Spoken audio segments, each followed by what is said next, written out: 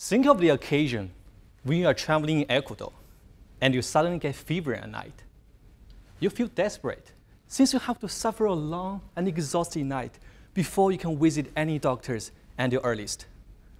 You become even more desperate since the medical resources in Ecuador can sometimes be very limited, and the doctors will possibly give you prescription based on their suspicions. Unfortunately, these suspicions are not always true, and sometimes this could be a life or death problem. Taking fever, for example, a lot of different diseases have similar fever symptoms. They can be dengue, malaria, and other infections. So, what if we can invent something to help physicians distinguish different fevers? That's exactly where the story begins for my research at Cornell to develop a technology called FeverPhone, which differentiates six fever infections.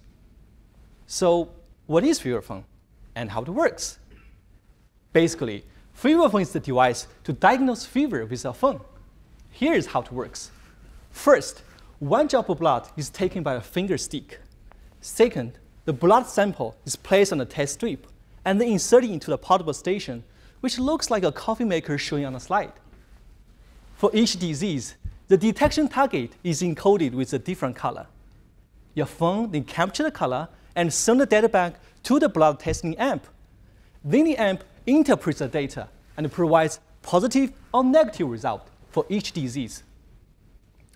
Hospitals generally take 24 hours to make decisions. With the FeverPhone, however, we will have an actionable diagnosis for six diseases in about 15 minutes with only five to 10 bucks.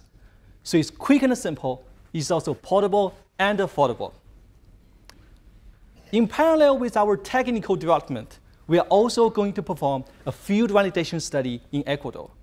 And this system will be fully validated and ready for the FDA approval. Now, outside our application is not just fever, but any potential future threat. The technology we are building here is going to be potentially expandable to other infections as well. We feel that developing countries could benefit greatly from this technology. And that's exactly the driving force behind my research. Thanks very much.